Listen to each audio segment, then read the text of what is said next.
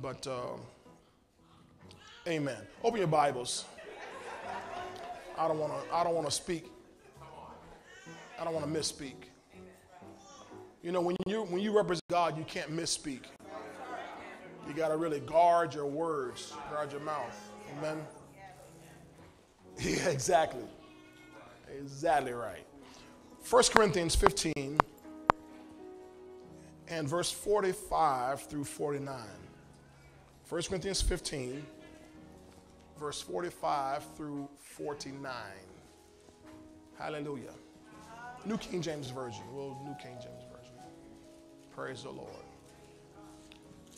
All right, we ready? Yes. Okay. We had that thing, we tested that thing 12 different times over the last three days. We the system's will be working because I'm gonna throw it in the trash next. No, I'm not gonna do that. I'm not gonna do that. We just paid a lot of money, and right now you can't even find one. These, these computers. 1 Corinthians uh, 15, uh, 45 through 49. All right, I'm gonna read it. Let's read it together. If you have the New King James Version, let's read it together. Ready, read. And so it is written the first man, Adam, became a living being. The last Adam became a life giving spirit. However, the spiritual is not first, but the natural, and afterward the spiritual. The first man was of the earth, made of dust. The second man is the Lord from heaven. As was the man of dust, so also are those who are made of dust. And as is the heavenly man, so also are those who are heavenly. Did y'all catch that? Verse 49 And as we have borne the image of the man of dust, we shall also bear the image of the heavenly man also. Now, I want to just make a note here when in verse 49 in the New King James, when it says, As we have borne the image of the man of dust, we shall also bear the image of the heavenly man. There's a little note above in mind for we shall, and it, it, it says the little translation of that is, Let us also bear. And I'll show you a couple translations, or maybe one, that will read it that way, that'll correct that and say, not we shall also, but let us also, in other words, right now, bear the image of the heavenly man. Tonight I want to talk on the subject uh, tap on the image. Tap on the image. Father, thank you tonight for the word. We receive it with thanksgiving. We take it to heart and we will apply it to our lives immediately. We declare it so in Jesus' name. Amen and amen. Much I don't really know about computers too much. I don't, you know, I got this smartphone, but I just make phone calls, receive phone calls, I send texts.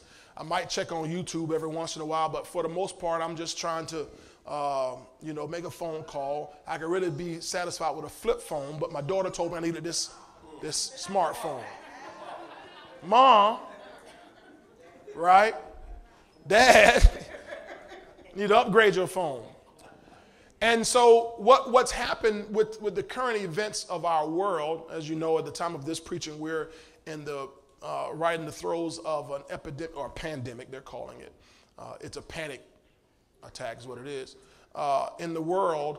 And it's thrown everybody into a safe distance uh, lifestyle. And the safest distance is to go do everything electronically. Right? So, all of our kids right now, they're on uh, a perpetual spring break. Uh, I have news for you, parents, and you're, you're hoping that April 16th they're going back to school. I have news for you. They're not going back to school. Let me just, let me just prepare you ahead of time. They're not, they may not be telling you this, but I'm just, I'm just going to give you a heads up. They're not going back to school. Okay? This school year is a wash. They already know it. Okay? The people inside are telling us it's not happening. Okay? Uh, so kids are doing everything online. How many of you, you are working uh, somewhere in a corporate office, but now you've been sent home to work? All right?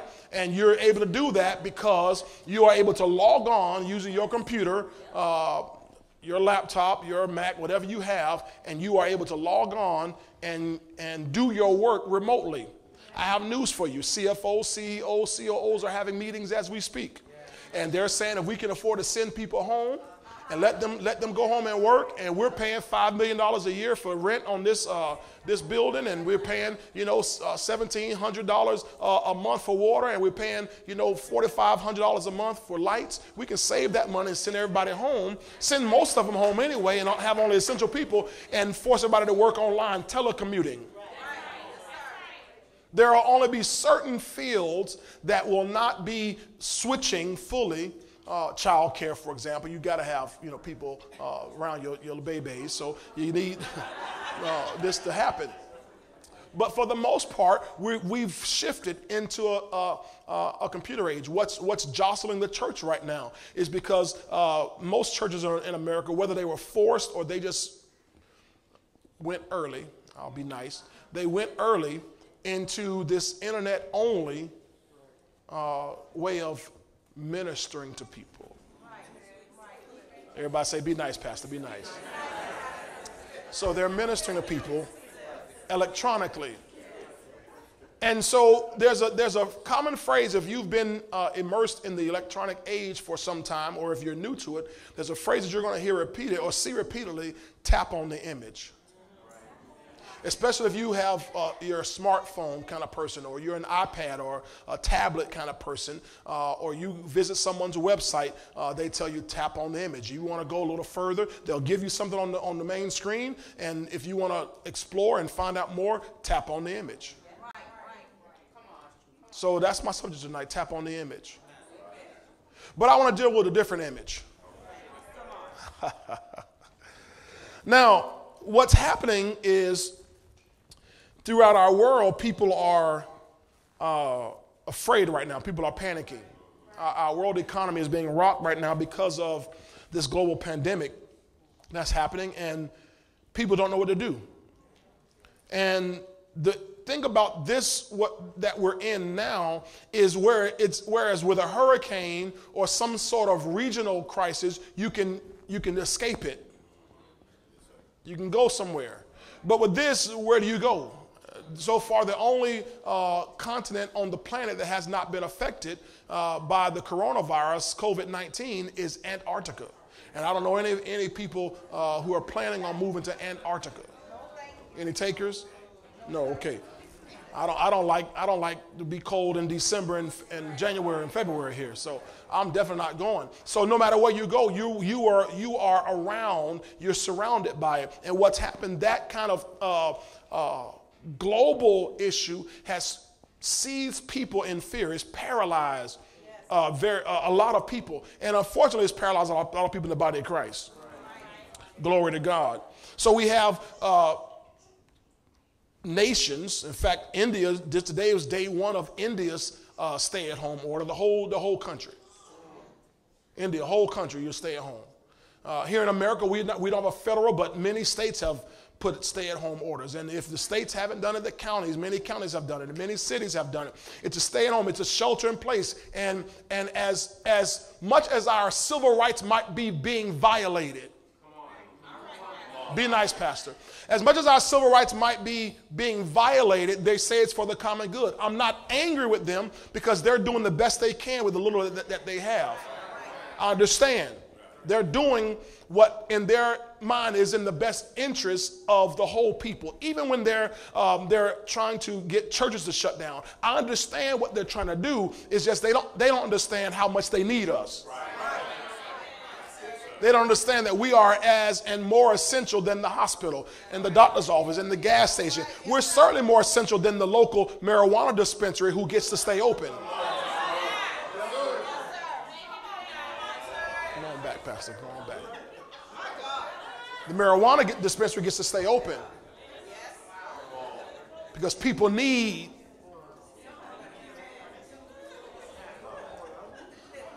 But again, I'm not upset because they're doing the best they can, the little that they know. But my concern is that if you and I aren't careful, in the body of Christ. It's, it's evident. I mean, you can, even the churches that are open, the, the, their, their numbers are drastically reduced. Not because we're not having church, but because people, even believers in the body of Christ, they have many, many of them been seized by the same panic, by the same fear. Glory to God. But it's, it's critical for you and me in this hour to know who we are. To know who we are. Ask your neighbor, do you know who you are? Now I want you to look on this uh, at real quick, 2 Corinthians 5:17, or if they get on the screen, we'll just let them do the work for us. They can get it pretty quickly. 2 Corinthians 5:17. Uh, I want you to see something here. 2 Corinthians 5:17. Most of you probably know it if I started to quote it. Uh, therefore, no, come on, y'all try. Therefore, if I'll give you two words. Therefore, if any man be in Christ, come on, he's a new creation. Old things are passed away. Come on. Very good, class. Very good. So you and I, now it is true there's no condemnation. That is true. It's just not what we're looking for here. So if anyone is in Christ, he is, she is. Say, I am. See, a new creation. It says, old things or the old life has passed away, and behold, all things have become new. Now, I'd like you to get that in the easy to read version for me, please. This same verse, and I want you to see this because it's critical. Remember, I'm talking about tap on the image. It's critical that you and I see who we are and know who we are because the world needs to see Jesus in us. We used to sing this song in my church growing up. I grew up Pentecostal. How many of y'all grew up Pentecostal? We used to sing a song, Let the World See Jesus in You. In the life that you live and the service that you give, let the world see Jesus in you. Praise God. I wish I had a few more Pentecost people here. It says, when anyone is in Christ, well, y'all Pentecostal now. I'm Pentecostal now, preacher. I'm Pentecostal now. When anyone is in, well, I know I was Pentecostal. Yes, you are Pentecostal. when anyone is, is in Christ, it is a whole new world. A whole new world. That's all I know about that song. It's all the words I know.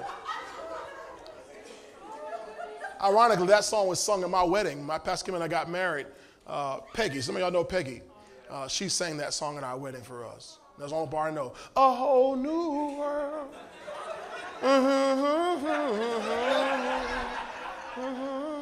So it says when you're in Christ, it is a whole new world. I say a whole new world. It says the old things, the old you is gone. Suddenly, everything is new. Everything is new.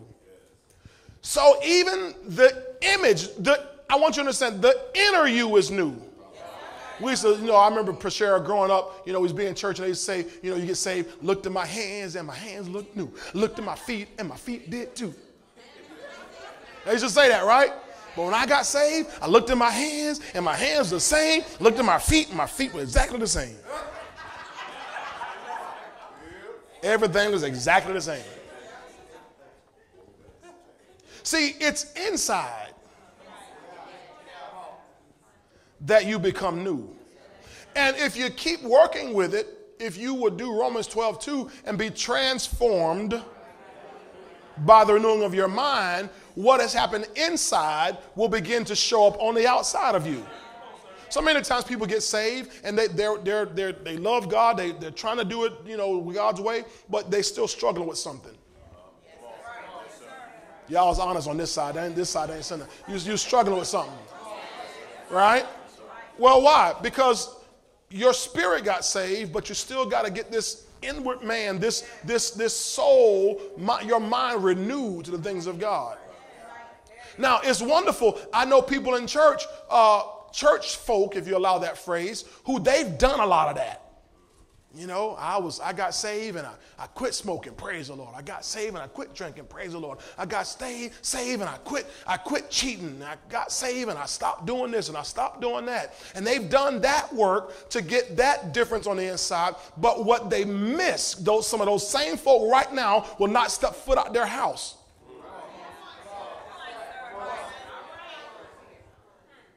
Because although they've gotten changed about those works, they have not been renewed as to who they are. They've changed what they do, but don't understand who they are. And one of the things that to me is most important for you and me is to understand who we are. Because if we understand who we are, that changes what we do. Y'all, y'all didn't catch that. A lot of people focus on changing what they do without changing who they are. You understand that? All right. So if any man be in Christ, he's a new creature. Or it says here, it's a whole new world. It says a whole new world. It says old things are gone, suddenly everything is new. All right, so it's important for me then that we begin to understand spiritual realities. Yes. All right? New creation realities or spiritual realities. I taught on spiritual reality uh, sometime last year, I think it was. Remember, I taught on understanding spiritual realities? Praise the Lord. Here's, here's a spiritual reality I want to make sure uh, I know and I need to know in this season. I'm no ordinary man.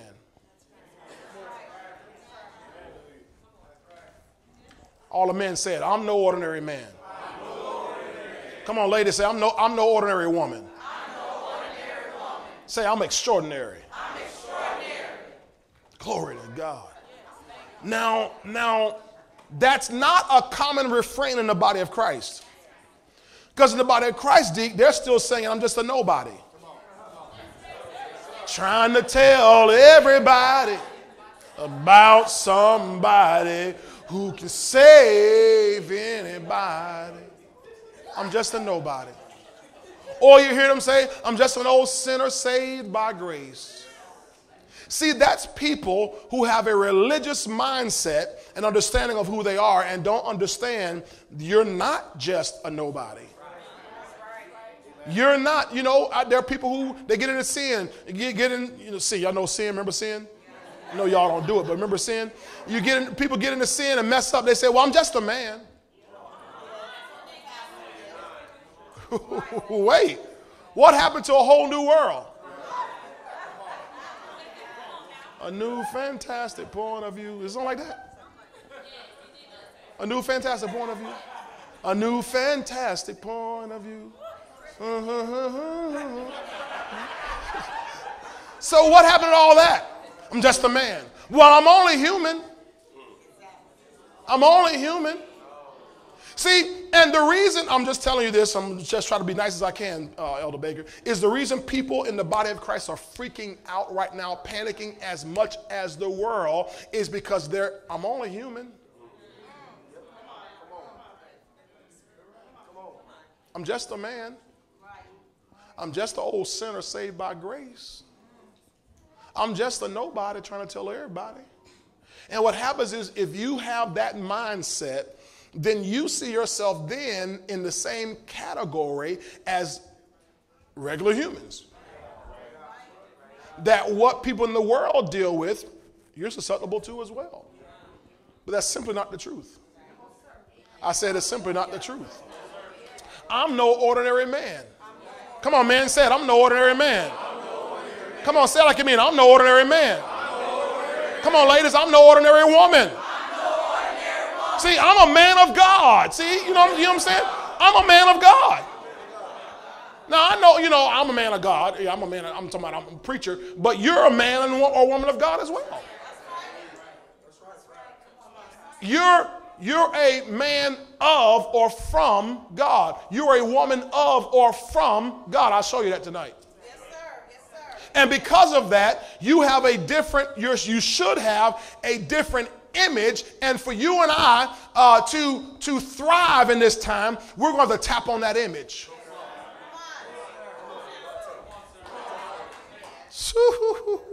Open your Bibles to uh, they got to put on the screen. We're going to amplify it for sake of time. Colossians chapter 1, 28 through 29, two verses. I want to show it and amplify it real quick for sake of time here.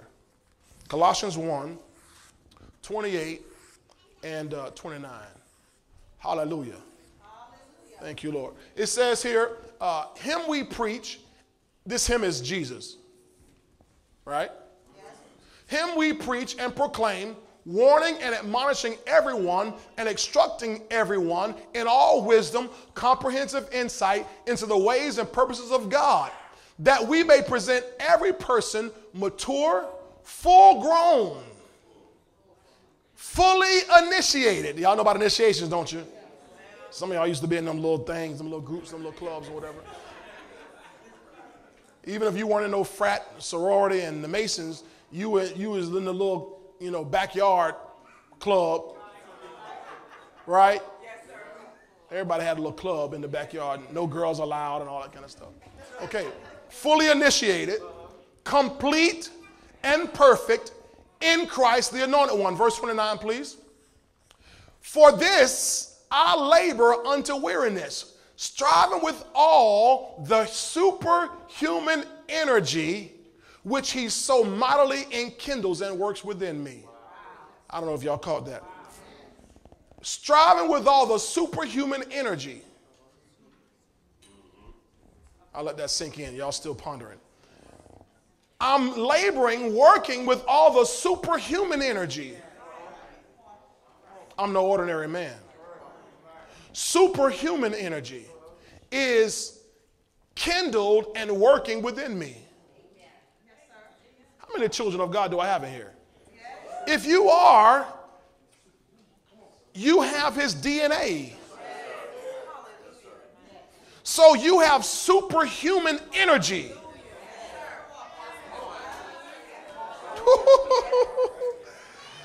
you might look like Clark Kent on the outside.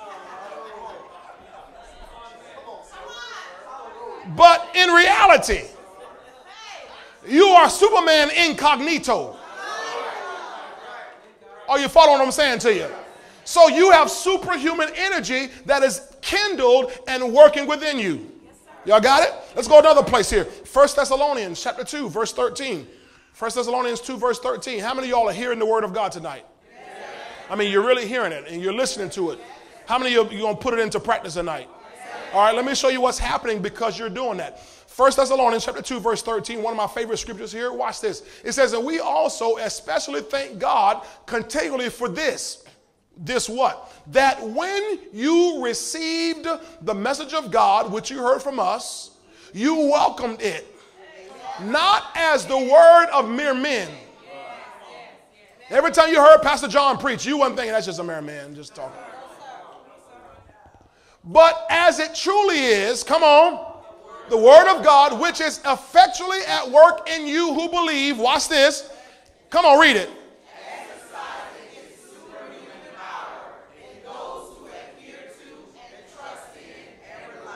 So when you trust in, adhere to, and rely on the word, it exercises superhuman power in you. Everybody say, I'm superhuman. Are you seeing this here? Glory to God. Well, I don't know what. It like I remember some superhero. I don't remember what who it was, but they used to tap on the little. Was it? Flash or one of those. They used to tap on their chest or something like that. Ultraman, Iron Man, one of them. Who? Y'all don't know. Y'all just thinking. I don't know. This is all right. We a long time ago. Iron Man, whoever. But they, they would tap on. Well, I can tell you, I can give an example, a modern day example you probably don't know, but um, the uh, Wild Kratts. Somebody, if you don't have small kids, you probably don't know about the Wild Kratts. The Wild Kratts, I learned about the Wild Kratts from my kids. Jonathan especially watched the Wild Kratts, and the Wild Kratts, they would tap on the little image of, you know, if they want to transform into a bird, they had to tap on the image. If you want to transform and flow in God's power, you got to tap on that superhuman power that's on the inside of you. Tell your neighbor, tap on the image. Are you getting this tonight? Now, now what's happening around us? Some of you may have encountered this already. If you haven't, uh, you probably will. Is that people are mad that you're in church.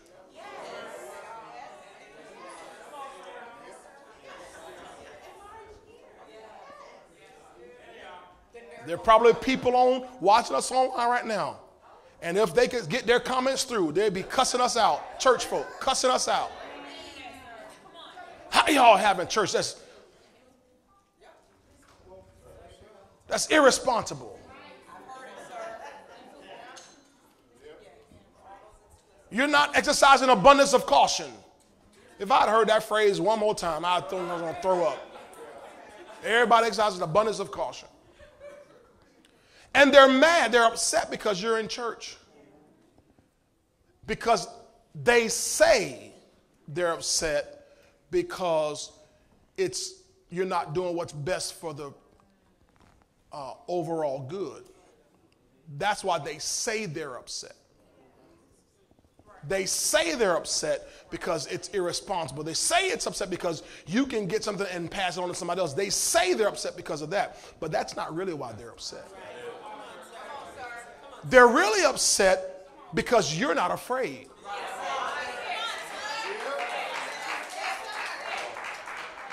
They're really upset because they're in fear.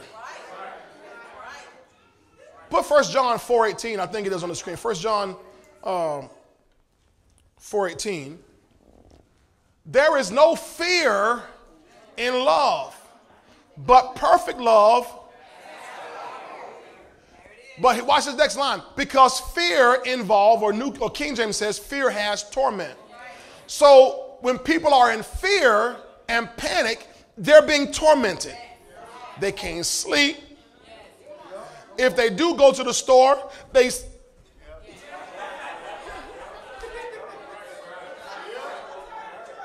People driving around, and I'm, I'm, I'm messing with the Christians. I'm, I'm, gonna be nice, but I'm gonna mess with the Christians. They driving around with masks and gloves in the car by themselves. At home with a mask by themselves. What you gonna infect yourself? Just newsflash. Check the CDC. You know, you ever heard of Center for Disease Control? CDC says masks are for the people who are infected, not the ones who are not infected. So our America is running out of masks is because all the people who are not infected are wearing them, trying not to get infected. But masks are not for the infected, they're for the non-affected, they're for the infected. They gave us instructions. They are, we've already checked it out. If we are permitted to continue church, and I'm praying that we will be, that what we do as a church is make sure we have masks on hand so that if anybody gets sick, you put a mask on them. Not put a mask on everybody else, but put a mask on them. Newsflash. But people are panicking. My kids were out uh, the other day. They were out uh, gathered. They had some company, a few couple of the kids over. They gathered out in my front yard and on the street. And they're just, I think they about they was about to do a TikTok or something like that, whatever. I know TikTok, some kind of stupid thing.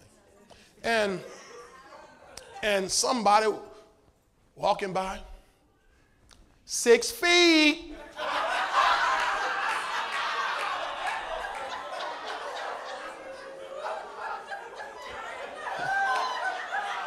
Okay, I have another news flash. I told some of y'all already. A sneeze or a cough, particles from a sneeze or a cough, can travel 200 feet. What in the world good is six feet? It's not. It's a panacea. It's to make, make people feel good.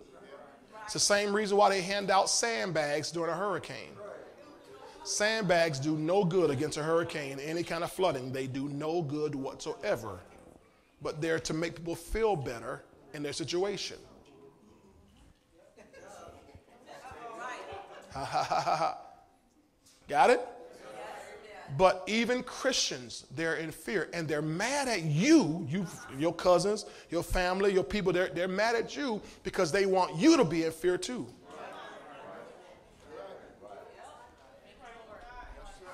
But 2 Timothy 1 7 says, God has not given us a spirit of fear. You want me to take something I don't I don't have. He didn't give me, he didn't give me fear. You, didn't, you missed what I said. You want me to be something that he didn't give me. He didn't give me fear. Now, if he'd give me fear, okay, I'd have fear. But God has not given us a spirit of fear. But what?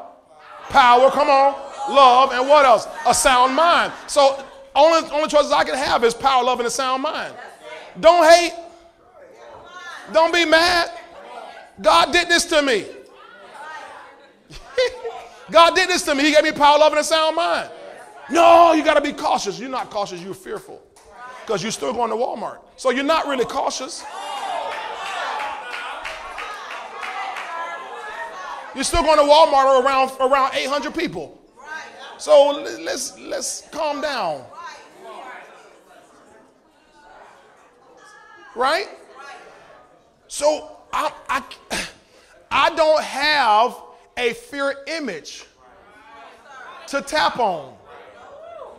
I have a superhuman image to tap on. I have a God image to tap on. My, my iPad only has one icon on it. You, you, you follow what I'm saying? There's only, only, thing, only one thing I can tap on is power, love, and a sound mind. So I, I'm sorry, I can't join your fear party. I'll pray for you, and we're going to pray for them tonight.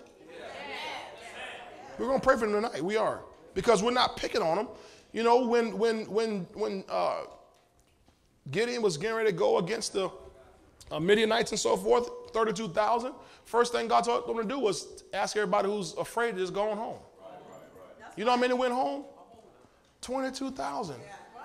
Out of the 32,000, 22,000 went home just because they was afraid. But Gideon didn't pick on him. He didn't, you know, all right, praise God. We're going to all get the victory. We're going to all get the victory. So we're going to all get the victory. Praise the Lord. Then he sent another, another, another uh, uh, I guess 9,700 went home because they didn't know how to handle themselves. Wow. All right, let me keep going here. So 2 Timothy 1 7, can you give me that in the Passion, please? 2 Timothy chapter 1, verse 7, in the Passion. Wonderful. It says, For God will never give you the spirit of fear.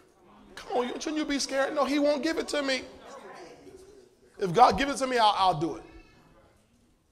But the Holy Spirit, in other words, He will give you the Holy Spirit who gives you mighty power. So that's the image I'm supposed to be tapping on. Mighty power, love, and self control. Control yourself around a toilet tissue. Control yourself around all the chicken, flour, and bacon, and rice, and people can just control yourself. It's going to be all right. Every little thing's going to be all right. Praise the Lord. Now turn to Mark 5, Mark, Mark 4 rather, Mark 4. Are y'all learning anything, anything tonight? May, some of you may not be learning something, but it's something being, being reiterated to you. You're being stirred up, all right? I don't, I don't know if I'm teaching anything too deep or too new. I just want to teach you what, what we need to, to strengthen the troops. Whether you're here or online, I want to make sure everybody's strengthened. Because even if you stay home, you're going to still have to use your faith. You're going to still have to use your faith because the devil will tell you that he's going to come creeping in your window at night. He gonna tell you you're running your air conditioner and your air conditioner is sucking in the virus. Your air conditioner is sucking in the virus inside and pumping it through your house. He'll tell you all kind of stuff. So you don't you don't get away from it just because you stay home. Okay, maybe I'm by myself. The devil ever told you anything crazy like that?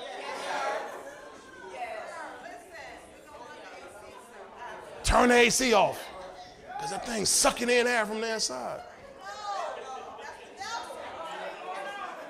I was talking to the to the uh, the guy who does uh, the church AC. He was here yesterday, and he he does my system. And a few months ago, I had him install this uh, UV light system in my um, uh, attic, attached to the to the air conditioner because it kills particles. And you know, my wife and uh, one of our uh, daughters has they deal with these allergies, so we try to make sure we kill those particles so at nighttime they can sleep and not and wake up and not be all stuffed up. You know what I'm saying? So we had them installed this a few months ago. And uh, talking to me yesterday, he said, Pastor, I've done like 15 of those in the last 11 days. Wow.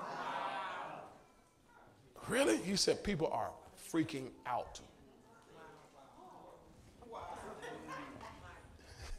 Because the devil tell you, it's going to get in your house.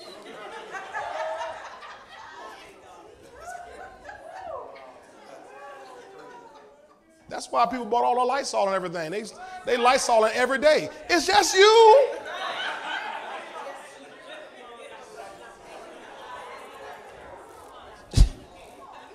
You're going to catch what you had. Y'all got me? I'm not picking on them. I'm just, yes, I am. But I'm, I'm, trying, I'm trying to be nice. I just, I just want to make sure we understand how powerful fear is. And God has not given us that. He's given us power and love and a sound mind, and you and I have the ability to tap on that image. You got it? In Mark 4, are you there? Mark 4, I'm going to begin reading verses 35 through 41. And I want to read that in the King James Version. Hopefully, you have that up for me. Thank you very much. It says, In the same day, when the even was come, their evening was come, he, Jesus, saith unto them, his disciples, Let us pass over to the other side. They're going to get in the boat and cross to the other side. He's just finished a big revival, big, big meeting, and they're going to go to the side and get apart. And it says, And when they had sent away the multitude, they took him even as he was in the ship, and there were also with him other little ships. Everybody say, Other little ships. So he's in a big ship, or he's in what we would also call the leadership. He's a leader. So he's the leadership, parents. And there are other little ships that are falling behind. Pastors, are you watching? Pastors, you're listening. There's leadership and all the other little ships are watching how you handle what's about to happen. And there arose a great storm of wind, and the waves beat into the ship so that it was now full. They're, they're in trouble. Keep going, please. And he was in the hinder part of the ship, asleep on a pillow, and they awake him and say unto him, Master, carest thou not that we perish? Keep going, please. And he arose and rebuked the wind and said unto the sea, Peace, be still. And the wind ceased. Now remember, there was a great storm, but now it says there was a great calm. That's a total swing in the other opposite direction. Y'all better catch that. So, whatever you see happening right now in the earth, I want you as a believer to expecting God to totally swing things in the other direction. You got it? You better be getting ready for a miracle. You better be getting ready for God to bring financial miracles, salvation miracles, healing miracles, power miracles, family miracles in your life as God swings this thing from one place to a whole different direction. Great storm, great calm. Now, watch this. And he said to them, he's not going to let them off the hook so easy, Jonathan. And he said to them, Why are you so fearful? How is it that you have what? No faith. Notice it says they were fearful. Fearful. They have no faith. So I want you to imagine your soul as a container. If your soul uh, as a container, if it's fearful, there can be no faith. But if you are faithful, come on, saints you can have no fear. Your Bible says, a faithful man will abound with blessings. The word says, Be thou faithful unto death, and you'll receive a crown of life. Are y'all hearing this? Jesus said, When the Son of Man comes, will he find faith in the earth? Will he find faith in your earth? When he comes checking you out, because that's what the Lord's doing right now. I guarantee you, he's checking out his people and he's looking for faith in the earth. Will he find you faithful or is he finding people fearful? He said, How is it that you are fearful? Or why are you so fearful? How is it that you have no faith? Why would he ask him why, why you have no faith? First of all, they've been in a meeting with him all in chapter 4. You see him teaching on the, the four grounds and teaching on how the kingdom of God operates and everything. He's been teaching on faith for three days and demonstrating faith. So now they get into a storm. I better come over here. Now I'm to talk to the camera. Camera two. He been, they've been teaching them on faith. They've been in a faith meeting for three days. Now, when a storm comes, he said, How's that you have no faith? Now, I'm making sure the preachers hear me. Because you've been preaching on this stuff for five years, 10 years, 20 years, 30 years. But when the storm comes, how is it that you have no faith? To all the members all over the world, you've been hearing this, singing about faith. We come this far by faith, leaning on the Lord. But when the storm actually hits, how is it that you have no faith? You know why? You're fearful. So what's happening is you were around the teaching of the word, but you weren't receiving the teaching of the word. It was head knowledge to you, but did not become uh, deeply planted in your heart. Remember we read uh, from the scripture about in Second Thessalonians, uh, I think First Thessalonians five thirteen, about um, those uh, when the when you trust in, adhere to, rely on the word, it exercises superhuman power in you. So you can hear the word all the time, but not really trust in it, rely on it, adhere to it, and there'll be no superhuman power. So when, when the storm hits, and guess what, ladies and gentlemen, you're going to have storms.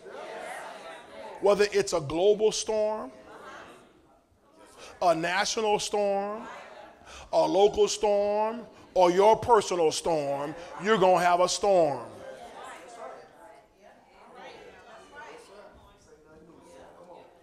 You got it? So it's it's in the storm that you find out what you're full of.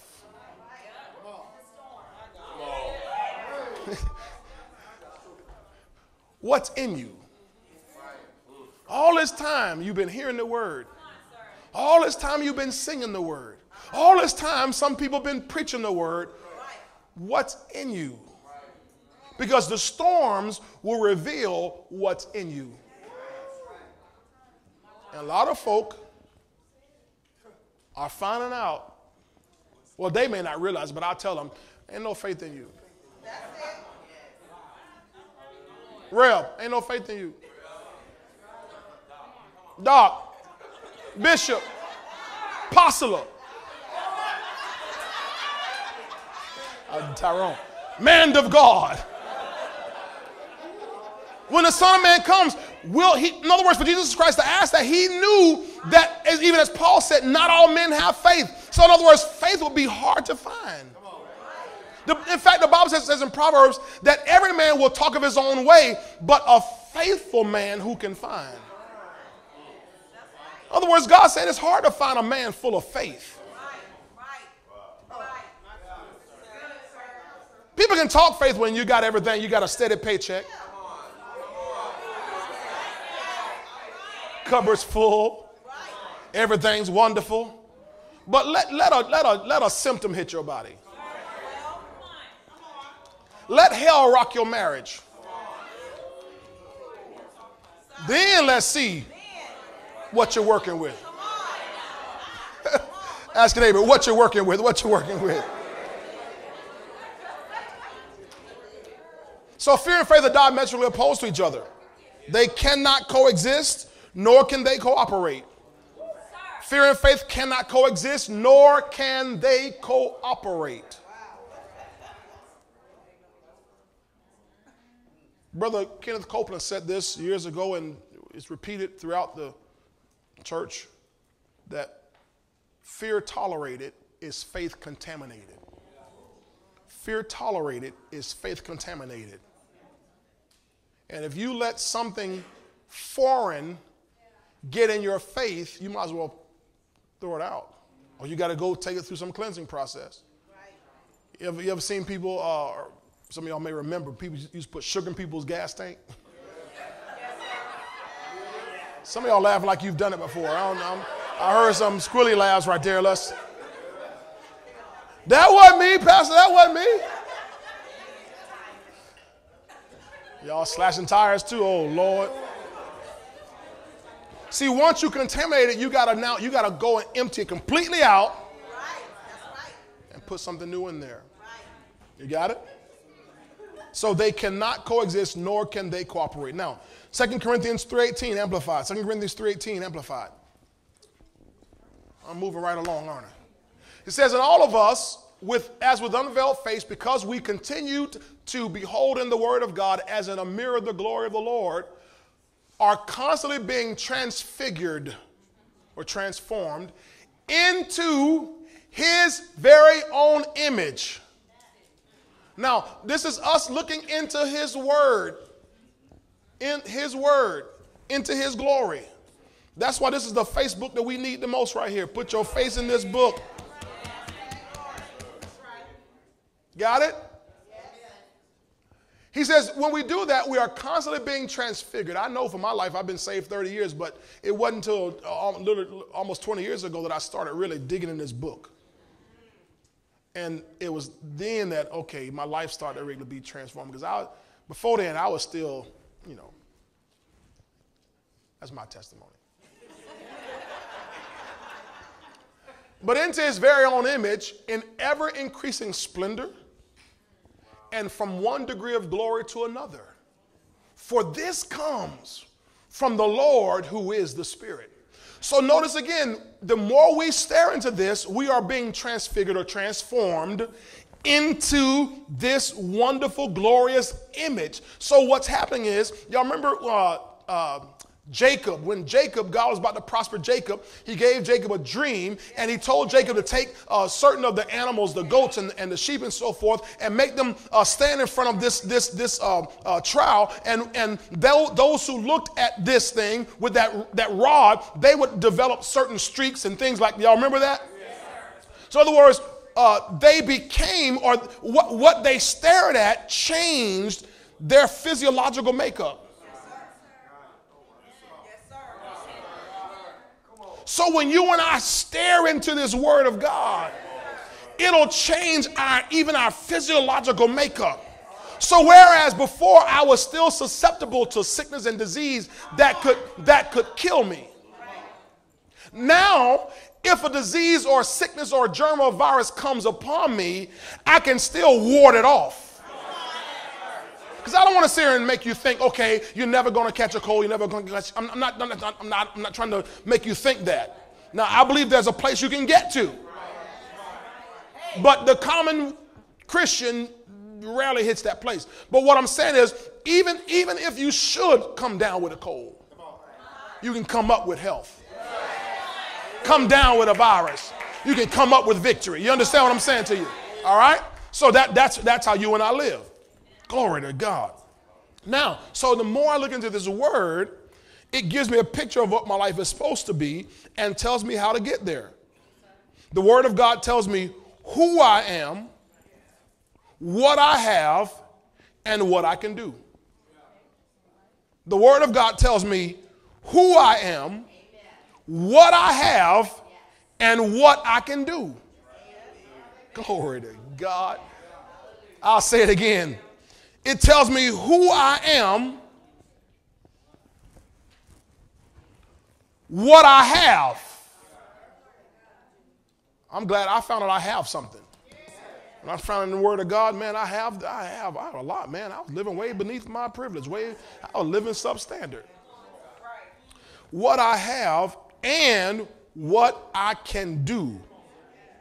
In other words, the Word of God will teach me what manner of man I am what manner of woman you are. Praise God. Now go to James chapter 1, verse 21 to 25 in the King James, very quickly, please. James chapter 1, 21 through 25. Glory to God. Glory to God. Everybody still tracking me, right? We're on the same page. Are you getting a bigger picture of who you are? I'm no ordinary man. I'm not your, I'm not your ordinary Joe Blow. I'm unusual. I'm uncommon. Whatever God has called clean, don't, don't you go calling it common. And I'm already clean through the word he spoke to me. So because I've already been cleansed, I am uncommon. I'm extraordinary. Hallelujah. Now it says here, wherefore lay apart all filthiness and superfluity, that means extra, of naughtiness, and receive with meekness the engrafted word, that means this word that becomes part of you. Engraft means to join together. So receive the engrafted word. So the word of God is supposed to become part of you. There are so many people in the body of Christ who they hear this word, but when they leave on Sunday, you follow what I'm saying? But he said the engrafted word, which means it, it becomes part of you. Anybody ever heard of a skin graft? With a skin graft, they take skins from one place and graft it to another place, so it makes now, now as it heals, it becomes one flesh. So the engrafted word, when I receive the word of God, it becomes part of me. I'm part of the word. The word is part of me. You cut me, I bleed word. You poke me, I'll leak the word. You, you, you shouted me the wrong way. Out my mouth, I'm going to yell a word. I forgive you in Jesus' name. Increase my faith. 70 times 7, praise the Lord. Father, forgive them, for they know not what they do. Praise the Lord. Pray for those who despitefully use you. Praise God. You better get them, Jesus. Okay? Real quick. So notice this the graphic word is able to save your souls. Now you're already saved your spirit, but it says save your souls, your mind, will, and your emotion. Yes, so it changed this person that is expressed every day. Your thinker, your chooser, your filler. You know, how you think, how you choose things, how you feel, right? So then, verse 22, let's keep going, please. It says, But be ye what? Of the word and not deceiving your own self. Now, that's crazy if you, you trick yourself. Okay? For if a man be a hearer of the word, not a doer, he is like a man, like unto a man, beholding his natural face in a glass or a mirror. Okay? So through the word, you look at yourself in the mirror. You're, you're, you're reflecting. You know, hopefully everybody, before you came to church, you looked in the mirror. Look at your neighbor's face. Look at your you, you missed something. You missed. All right? My wife, my wife is good for that. She's gonna check me. You you you missed something. How? You know, you know you gotta check your kids, don't you? Because they don't even look in the mirror. So my mom used to do this. Ah! Ah! Mama, no! Go to school smelling saliva all day on your lip. Yeah, yeah, yeah,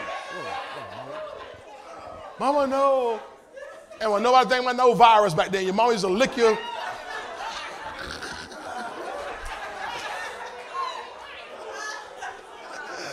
For he, he beholds himself and goeth his way, and straightway forgetteth what manner of man he was. He forgets what manner of man he was. Now, in other words, he looked into the mirror saw something, but if he doesn't do it, he forgets what manner of man he was. So if he sees the word but does not apply the word right away, he forgets what manner of man he was.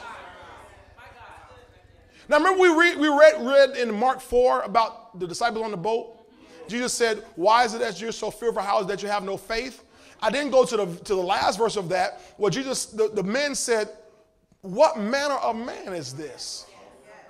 That even the wind and the waves obey him. They, they ask, What manner of man is this? What kind of guy is this? Now, here we read that he says, when you look into the, into the law of liberty, into, into God's word, but you walk away and don't do it, don't apply it, you immediately forget what manner of man you are. So the, the word has the power to transform you and change you and cause you to now develop a new image. So, what happens when believers are not living by the word? They go back out in the world, they go to work, and somebody cuss them out, and they, they forget what man of man they were. You almost did that. Okay, praise the Lord. People cut you off in traffic or they fight over a parking spot. They forget, you forget what man of man you were. Tell your neighbor, don't forget what man of man you are. Don't forget. represent the kingdom. Represent the kingdom now. See, but I got to take this word and make it part of my life. I got it's got to be engrafted. Engrafted. Part of who I am. It's part of my makeup. It's woven into the fabric of my life. The word isn't a side note for me. It's how I live. I live by it. Every day.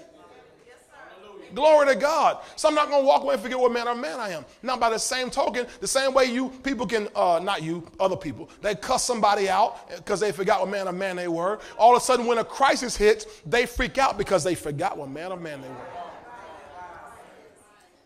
The disciples, when Jesus asked them, Why are you so fearful? How is it that you have no faith? What he's saying is, You forgot what man of men you were.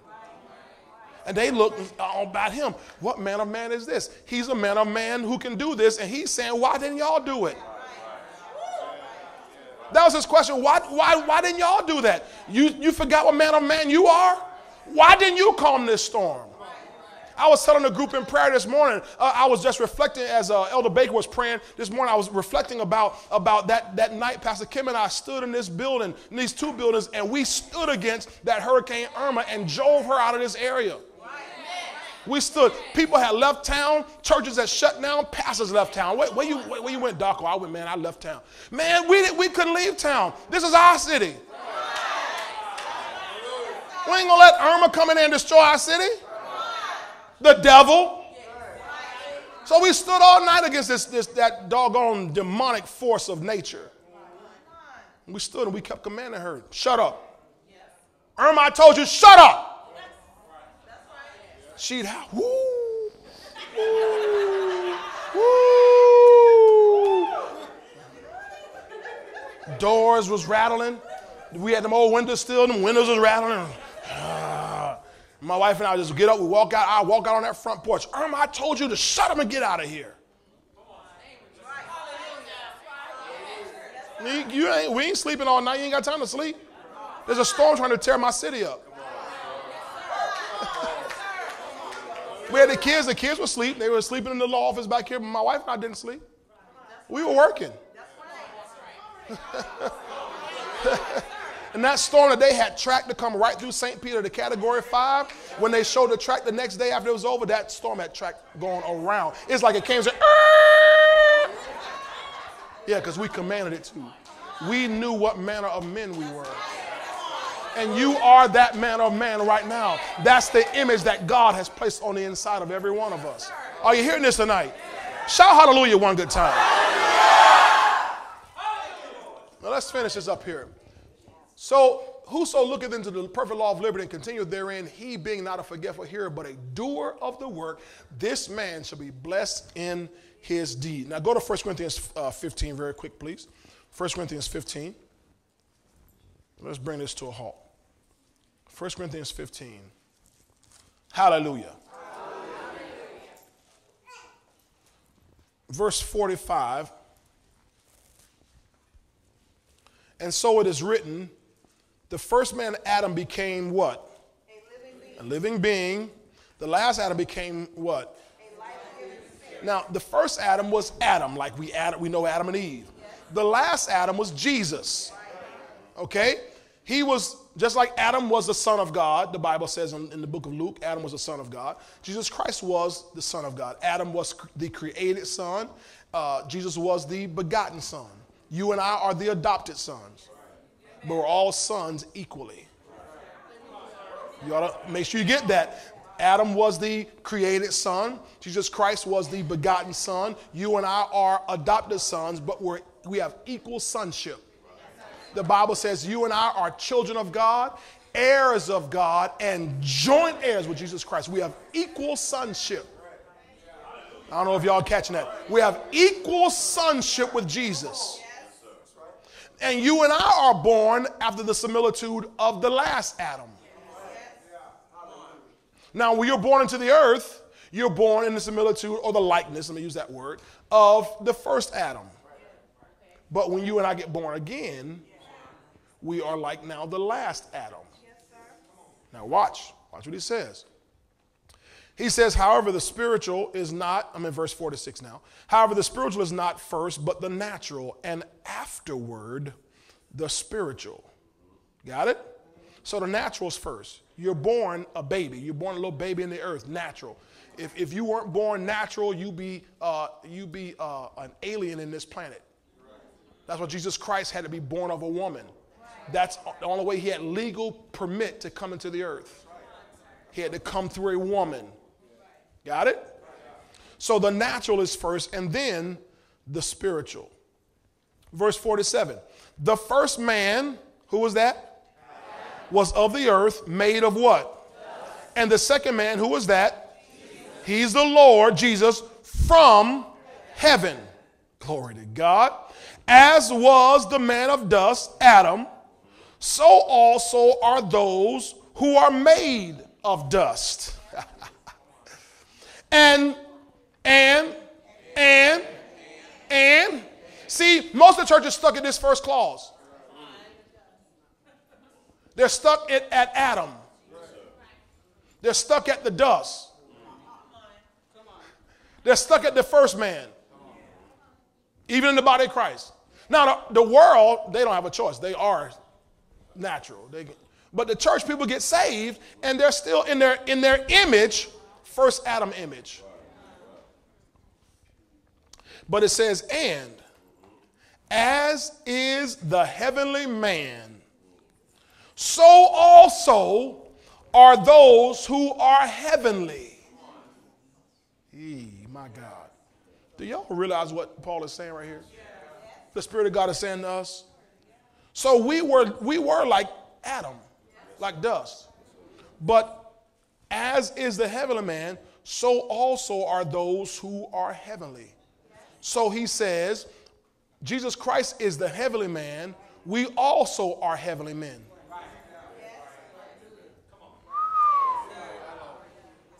See, everything changed.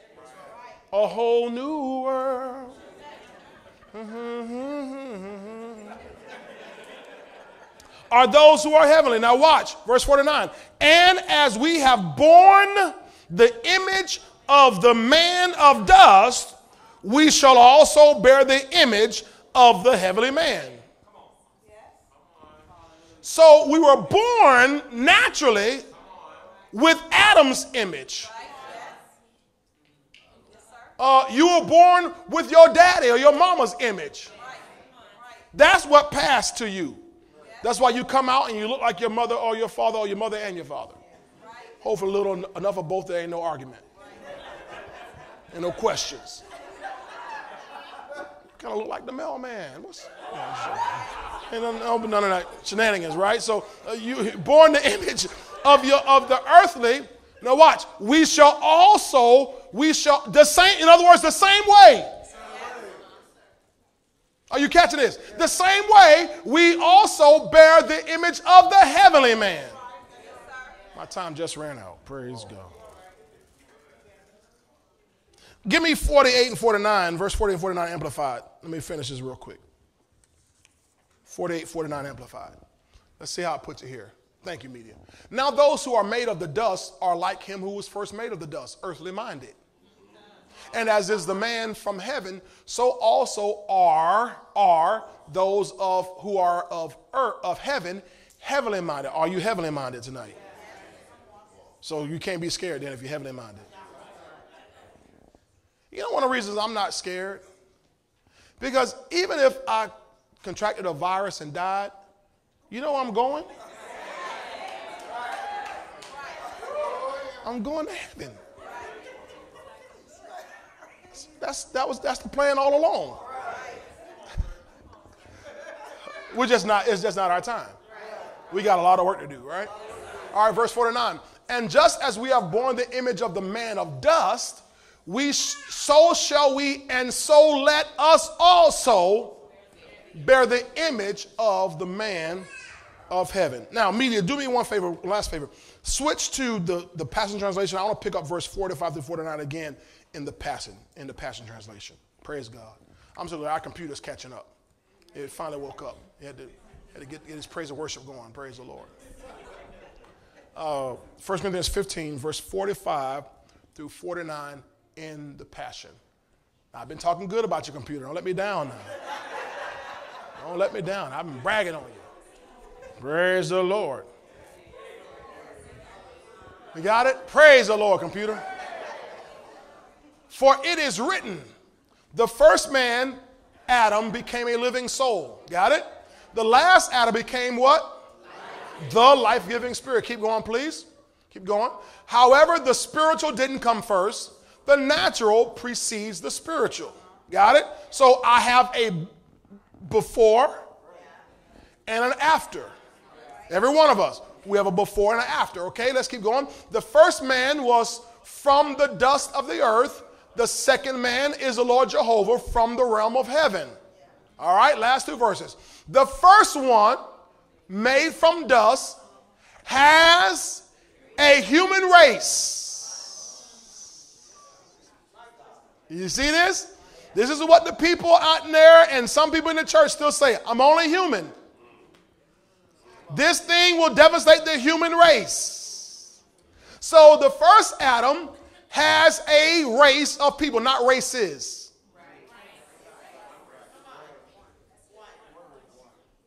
How many races? One. one. We only one race. It might be different colors, but we only one race. Has a race of people just like him who are also made from dust. But watch this the one sent from heaven has a race of heavenly people who are just like him. Good God Almighty. He has a heavenly race or a race of heavenly people who are just like him. So I'm not just human. I am just heavenly. I'm just divine. I'm part of the heavenly race, and I, according to the word, I'm just like him. First John 4, uh, is it 4, 4, 4? That's greater he, he, he than the world. No, the one about uh, maybe 17, uh, about as he is, so are we in the world. Somebody look it up. First John, First John 4 something. 17. I was right, Barbara? You believe me right? Well, we, we on the same, same team, Barbara. Uh, yeah, that's Ezekiel, but we like First John. Ezekiel's not bad either. Somebody got it? First John 4 17? What does it say? Is that's not it? That's it? Barbara, we were right. High five, man. High five, man.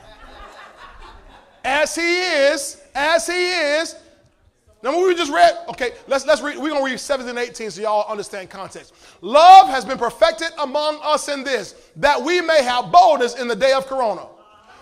Because as he is, see, right now is a day of judgment. Right now is a day of discerning. We're going to be able to tell real easy who got it and who ain't.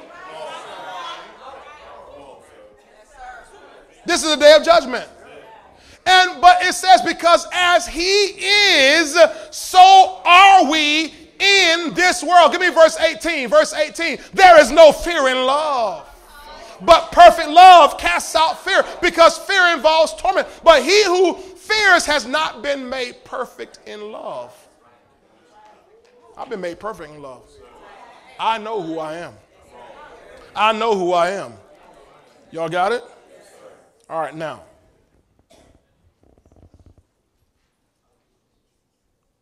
Uh, give me that scripture one more time. 1 Corinthians 15, 49. We'll close. 1 Corinthians 15, 49. The passion. In the passion, please.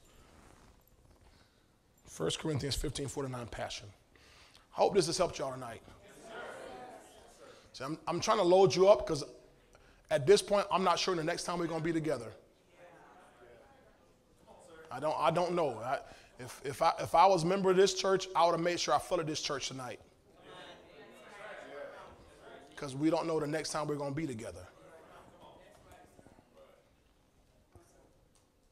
1 Corinthians 15 49. Once we carried the likeness of the man of dust, but now let us carry. That's what they're telling people. Well, you catch this virus, you may not get sick, but you'll be a carrier. I am a carrier. You're right, I am a carrier. You know what I carry? The likeness of the man of heaven. Get on your feet. Come on, let's let's do something here. I'm a carrier. Everybody say I'm a carrier. I am a carrier. I carry the likeness of the man of, of, of heaven. So because of that, I do not abide in fear and I do not let fear abide in me. And let people get angry, let them be upset. Now we're, we're going to be respectful. If, if, if it is the case that we find, you know, that, that is, is we can't meet, we already have a strategic plan in place on how to uh, carry on and so forth. Uh, but uh, I'm not going to be home scared.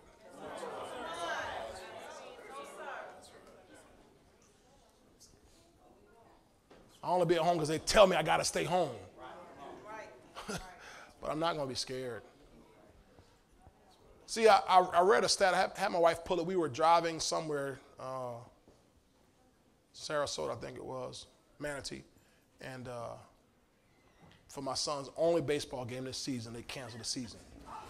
And so we're heading there. And so I had my wife look it up. I said, Google and find out from me- medical science what, what medical science says about the effect of fear on the immune system. And she Googled it and found all kind of articles and, and data that showed that fear absolutely compromises your immune system. Thus, Job can say, The thing I feared the most has come on me, and that which I dreaded has happened to me. Job 325. So you and I cannot let fear be the image that we tap into. We tap into power, love, and a sound mind. We tap into that heavenly image so that, um, I'm stretch it here, we become invincible. Ooh, you stretching us, Pastor. Yes, I know it. I'm stretching you to life. We become invincible. See? See? See, I'm confident enough that if, if the mayor called and asked me, the governor, or whoever called me, asked me, hey, all that power you got, would you mind coming to this place and lay hands on all the all the uh, coronavirus? Yes, I'll lay hands on them. I'm not, I don't have any fear. The law of the spirit of life in Christ Jesus has made me free from the law of sin and death. You got it? Amen. So praise the Lord. Let's hold on in prayer. Now, again, as I said to you, I don't know what's going to happen Sunday. We'll find out. We'll make sure we let everybody know through our GroupMe, through our Facebook, Instagram. I'll probably put out a YouTube or something just to let you know. Um, so be on the lookout. But um, we're going to take authority right now. We did it this morning. Let's do it tonight. We're going to take authority over this virus. Because here's the reality though you and I might be living here fear free, there are a lot of people who are scared. They are scared because they don't know what you know and they don't have what you have.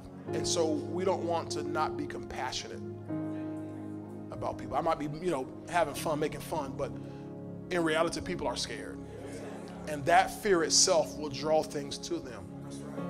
And so we gotta we gotta pray for them and we're praying for the economic status of our city and our nation and the world. The whole world dealing. Um, but you and I are the ones who are planted in this earth to deal with this. We're the only ones. I shot off an email uh, the other day to the mayor and to the governor. We're the only institution on this planet that can deal with this. I just want to make sure you know, Mr. Mayor and Mr. Governor, we're the only ones who can deal with this in all your best efforts, you can, you, can, you can try to sustain things, but we're the only ones equipped who can deal with spiritual, physical, emotional. Those areas can nobody else touch it but us. You got it? And so I want us tonight to use our authority. Now, I want you just right now, just you don't have to do this, but just I want you to tap into that image. I want you to tap in, tap that that dominion image that that should be in you now. That that faith image, that power, love, and sound mind image, and, and, and that, that, that faithful image, that image of the heavenly man. Jesus said in Luke chapter 2, chapter 10, and verse 19, He said, Behold, I give you authority over all the power of the enemy, and nothing shall by any means hurt you. So, you and I, I want you to have this image in you now. I can't be hurt by anything but also the image of I have authority over all the devil's power. So when you encounter someone who they are fearful, if they'll let you grab their hand, grab their hand. if, if they'll just let you pray for them, let me pray for you. Somebody who may be sick. It might just be flu or might just be pollen in the air. But the devil's to tell them. Going to, that's that thing. I'm just telling you.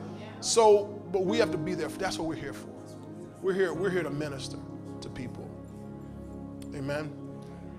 So, Father God, now in Jesus' name, I want you to everybody just stretch your hands. In fact, I want you to turn to the outside of the church. Just, just all directions. Turn towards whatever wall close to you. Just, just in Jesus' name, we just take our, our authority right now. We use the authority you've given us in this city and in this region. God, we stand fearlessly. We stand courageously. We stand bravely in our authority. We stand knowing who we are, that we are no longer of that image of that man of the earth, but we are now bearing that image of the man from heaven.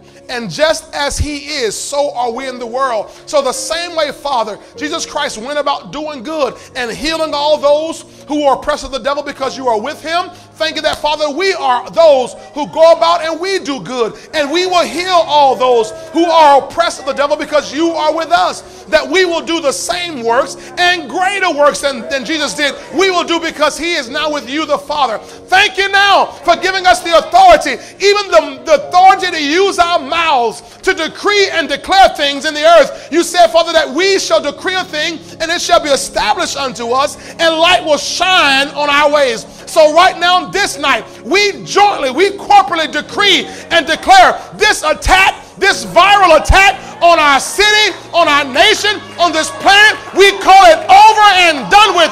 We command you, virus, get out of here and get back to hell right now in the name of Jesus Christ our Lord. Get out of here. Leave bodies, leave nations, leave cities, leave, leave the town, leave now. In the name of Jesus. You foul spirit of fear. We see you. We recognize you at work. And we command you to cease and desist from your maneuvers against the people of God and against the people of the earth. In the name of Jesus, we take our authority. We stand in our authority.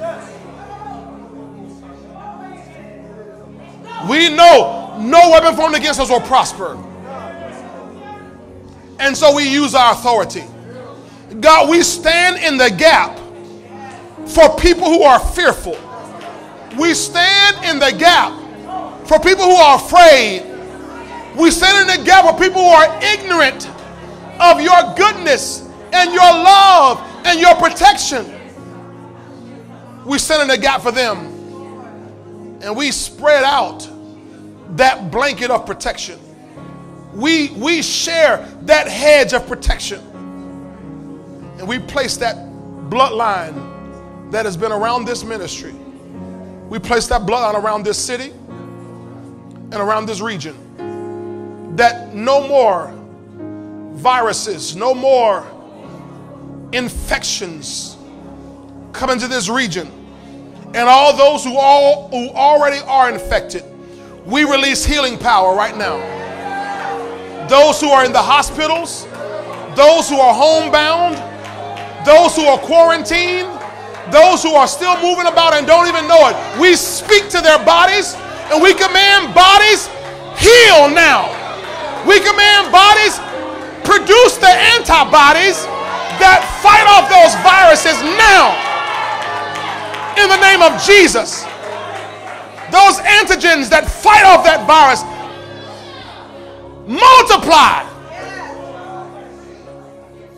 Command that white blood cell count to do the job. In the name of Jesus. Immune systems be strong. Be strong. Digestive system be strong. We pray spirits be strong. For Father, your word said that the spirit of man will sustain him in sickness. So we command every spirit to be strong. That this sickness will not take anybody else out. God, they've been hoping for the curve to begin to flatten. right now curve. We command you to flatten and flat line now. No more, no more deaths, no more infections. We command it to be so now. That it'll be not many days hence that America opens back up. That America knows that there is a God in Israel. That it wasn't medical science. That it wasn't our shutdowns and our lockdowns, but it was the power of the living God that busted up all the devil's works. And I thank you, Father, that this exceeding great army that's headquartered in this church, that God, no matter what happens in the next few days, that we stay strong, we stay together, and we encourage each other, and we build each other up, and we stand for each other, and we help each other where it's needed. That we would have all things in common when it's needed. That when one has little and one has much, that we'll share. That no one has to lack and no one has to go without. I even declare over this house and everyone who's connected to this house that God, we flourish, we increase, we are fruitful even in a famine. And we call for a quick end to the famine, a quick end to the downturn, a quick end to it all. And we ask you, God, Give wisdom to our president and all his staff, all his counsel. We ask you to give wisdom to those who are in the Center for Disease Control, those in the World Health Organization. Give wisdom to premiers and prime ministers and leaders presidents all over the land, all over the world. Give wisdom for their nations, the wisdom of God.